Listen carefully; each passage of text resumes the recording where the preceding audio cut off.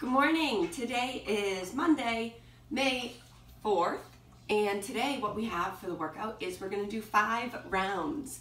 We have seven different things in this, a couple of them duplicate themselves. So when I go ahead and tell you the modifications, just know that that modification goes for both if it's in there twice, all right? So we have first up five tempo goblet squats at a tempo of 3-1, 3-1. So what that's gonna mean, you're gonna take your dumbbell, you're gonna hold it at your chest, okay? You're gonna send those hips back and down and you're gonna come down one Mississippi, two Mississippi, three Mississippi, one Mississippi at the bottom, and then the same thing on the way up. One Mississippi, two Mississippi, three Mississippi, one Mississippi at the top, all right? Really, really, really try to hold that tempo, okay? Three full seconds down, one second pause at the bottom, three full seconds up, and a one second pause at the top, all right? Next up, we have 20 double unders. So if you can't do 20 double unders because of space, you're in, you have short ceilings like me, um, today seems like a beautiful day to get outside and do this workout, but if you can't do double unders, then what you can do is 10 step ups in place. You can do a 100 meter run, or you can do 40 single unders, all right? So we have 20 double unders, 40 single unders, 100 meter run, or 10 step ups. Next up, we have five box jumps. So for the five box jumps, what we're looking for is, I want you to jump up, full extension at the top, and then come back down, all right? So you're gonna jump up, stand up, come back down.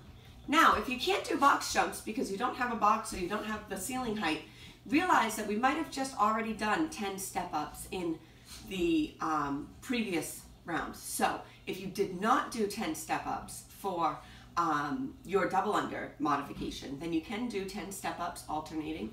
Step up with one leg, step down with the other. You can do 10 step-ups for this. But if you already did step-ups for your double unders, what you're gonna do is you're gonna do jump squats. And a jump squat's gonna look like this. You're gonna get all the way down into an air squat, and then you're gonna explode up and leave that ground, okay? Squat up, squat up, all right? Next up, we have five each leg dumbbell reverse lunges. So you're gonna take that dumbbell again, you can hold it up like the goblet, and you're going to step back, step forward, step back, step forward. Really making sure that you don't step back too far and that you don't step too close, all right? Try and keep that chest up the whole time. Don't let that dumbbell carry you down. Then we are going to get back up into it. So we're gonna do 20 double unders again. Then we have five box jumps again. And then we're gonna switch it up at the very end. We're gonna do seven dumbbell RDLs, okay? So dumbbell RDL, you have one dumbbell in your hand. If you have two, use two. You're going to slightly bend those knees, send those hips back, back, back, back, back, as far as you can, and then you're gonna come back up to the top, all right? So if you have two dumbbells, you're gonna hold them on either side. If you have one dumbbell, you can hold it in the middle.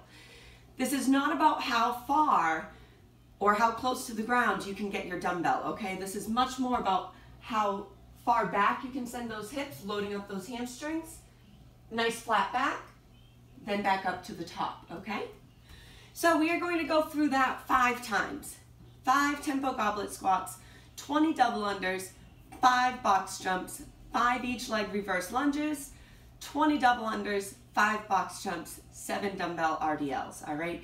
We'll be on Zoom at 9.30 a.m. and at 5.30 p.m. if you need to have this workout up so that you uh, have all your options. I'm gonna make sure that I put it out there nice and clear how we have those modifications so that you don't get confused.